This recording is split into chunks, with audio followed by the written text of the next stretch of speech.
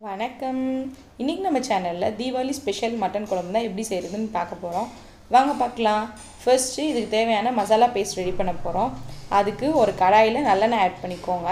அதில் ஒரு சின்ன பீஸ் பட்டை ஒரு ஹாஃப் ஸ்பூன் வந்து சோம்பு ஒரு ஸ்பூன் கசகசா ரெண்டு ஏலக்காய் மூணு கிராம்பு இதெல்லாம் போட்டு ஃபஸ்ட்டு நல்லா பொரிய விடணும். இதுக்கப்புறம் வந்து நீங்கள் ஒரு பத்துலேருந்து இருபது சின்ன வெங்காயம் ஆட் பண்ணிக்கோங்க. இது அடுத்து வந்து ஒரு பத்து வெள்ளைப்பூடு ஒரு பெரிய ஒரு மீடியம் சைஸ் ஜிஞ்சர் எடுத்துக்கோங்க. அது சின்ன சின்ன பீஸாக கட் பண்ணி அதையும் ஆட் பண்ணி நல்லா கொஞ்சம் ஃப்ரை பண்ணிகிட்டே இருங்க.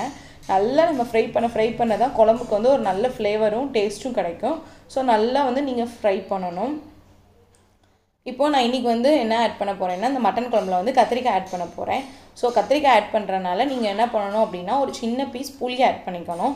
இன்கேஸ் நீங்கள் கத்திரிக்காய் ஆட் பண்ணாமல் வெறும் எலும்பும் மட்டன் மட்டும்தான் வச்சு செய்கிறீங்க அப்படின்னா வந்து புளி ஆட் பண்ணணும் தேவையில்லை.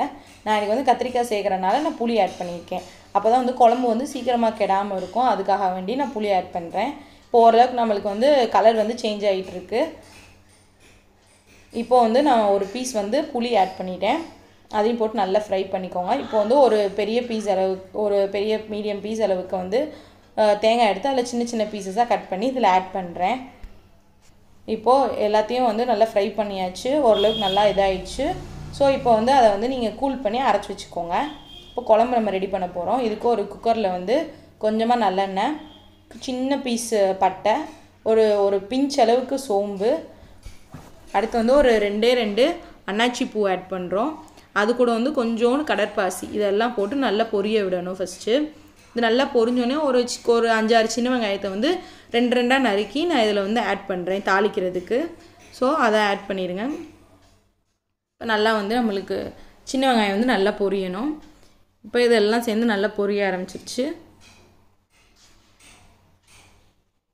இப்போ நம்ம வந்து மட்டனை வந்து வாஷ் பண்ணி வச்சுருக்கோம். அந்த மட்டனை ஃபுல்லாக இதில் வந்து ஆட் பண்ணுறோம் மட்டனை வந்து நல்லா இப்போ வந்து ஒரு ஃப்ரை பண்ணதுக்கப்புறம் இன்னும் கொஞ்சம் தண்ணி இருக்குது நம்மளுக்கு வந்து இந்த தண்ணி வந்து இந்த மட்டனில் இருக்க தண்ணி வந்து நல்லா வந்து வற்றணும் அதெல்லாம் நம்ம ஃப்ரை பண்ணணும். இப்போ வந்து கொஞ்சோண்டு மஞ்சத்தூள் ஆட் பண்ணுறேன் அடுத்து நான் எப்போயும் யூஸ் பண்ணுறேன் மசால் பொடி. மசால் பொடியோட மசால் பொடிக்கு என்னென்ன இது போடணும் அப்படின்னு சொல்லிட்டு நான் என்னோடய டிஸ்கிரிப்ஷன் பாக்ஸில் கொடுக்குறேன். கண்டிப்பாக அதை பாருங்கள் இப்போ நம்மளுக்கு வந்து இந்த தண்ணி வந்து இன்னும் இருக்குது குழம்புல. இந்த தண்ணி வந்து நல்லா வற்றணும் ஸோ இப்போ அதளவு அதுக்கப்புறம் தான் நான் வந்து மசாலா பேஸ்ட் ஆட் பண்ணோம் இப்போ வந்து ஒரு ரெண்டு தக்காளி எடுத்து சின்ன சின்னதாக கட் பண்ணி அதில் ஆட் பண்ணுறேன் ஆல்ரெடி வந்து நம்ம புளி போட்டிருக்கோம். ஸோ நம்ம புளியோட ஆல்ரெடி புளி போட்டிருக்கனால தக்காளி வந்து நீங்கள் அதுக்கேற்ற மாதிரி சேர்த்துக்கோங்க. அப்போ ரொம்ப புளிப்பு அதிகமாயிரும். காரம் வந்து உங்களுக்கு ஏற்ற அளவுக்கு தான் நீங்கள் வந்து உங்களோட மசால் பொடி வந்து நீங்கள் ஆட் பண்ணிக்கலாம். நீங்கள் எவ்வளோ காரம் ஆட் பண்ணுவீங்கன்றதை பொறுத்து. இப்போது நான் வந்து அரைச்சி வச்சுருக்கேன் அந்த ம மொதல் இதுக்கு முன்னாடி வதக்கி அரைச்சிருக்கேன் அந்த மசாலாவையும் ஆட் பண்ணுறேன் நல்லா வந்து இப்போ வந்து ஃப்ரை பண்ணிக்கோங்க. நல்லா கிளறி விடுங்க.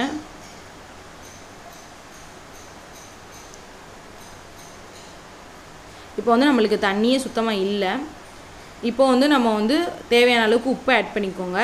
உப்பை ஆட் பண்ணிவிட்டு உங்களுக்கு குழம்புக்கு வந்து எவ்வளோ தண்ணி வேணுமோ அந்த தண்ணியை ஆட் பண்ணி நீங்கள் இப்போ வந்து ஒரு ரெண்டு மூணு விசில் வச்சு எடுத்துடலாம். இப்போ வந்து தண்ணி ஊற்றுனதுக்கு அப்புறம் தான் கடைசியாக தான் நீங்கள் வந்து கத்திரிக்காய் ஆட் பண்ணணும். ஃபஸ்ட்டு நீங்கள் வந்து மட்டன் போடும் போதெல்லாம் நீங்கள் வந்து கத்திரிக்காய் ஆட் பண்ணிடக்கூடாது. ஏன்னா மட்டன் மட்டன் வந்து குக்காக டைம் ஆகும். ஆனால் கத்திரிக்காய் வந்து சீக்கிரம் வந்து வெந்துடும் அப்புறம் குழஞ்சிரும். ஸோ அதனால் வந்து கடைசியாக நீங்கள் குக்கர் க்ளோஸ் பண்ணையில் தான் வந்து நீங்கள் வந்து கத்திரிக்காய் வந்து ஆட் பண்ணணும். இந்த அந்த மாதிரி நேர் நேராக நான் கீறி வச்சுருக்கேன். அந்த கத்திரிக்காய் வந்து நான் உள்ளே வந்து ஆட் பண்ணுறேன் அவ்வளோதான் இப்போ அப்படியே நம்ம குக்கரை க்ளோஸ் பண்ணி ஒரு மூணு விசில் வச்சு எடுத்துடலாம். இப்போ நம்ம சூடான கறி குழம்பு ரெடி நல்லா நம்மளுக்கு கத்திரிக்காய் உடையாமல் வந்திருக்கு. மட்டனும் நல்லா வெந்துருச்சு. இப்போ கருவேப்பிலை கொத்தமல்லி மேலே தூவி நீங்கள் இறக்கிடலாம். உப்பு எல்லாம் நீங்கள் சரி பண்ணி சரி பார்த்துக்கோங்க. நம்ம டேஸ்டான மட்டன் குழம்பு ரெடி ரொம்ப ரொம்ப ஈஸியானது டேஸ்ட்டாக இருக்கும். கண்டிப்பாக எல்லோரும் ட்ரை பண்ணி பாருங்கள் உங்கள் வீட்டில் மறக்காமல் ட்ரை பண்ணிவிட்டு எனக்கு எப்படி இருந்துச்சுன்னு கமெண்டில் சொல்லுங்கள் தேங்க்யூ மறக்காமல் சேனலை சப்ஸ்கிரைப் பண்ணுங்கள் லைக் பண்ணுங்கள் ஷேர் பண்ணுங்கள் கமெண்ட் பண்ணுங்கள்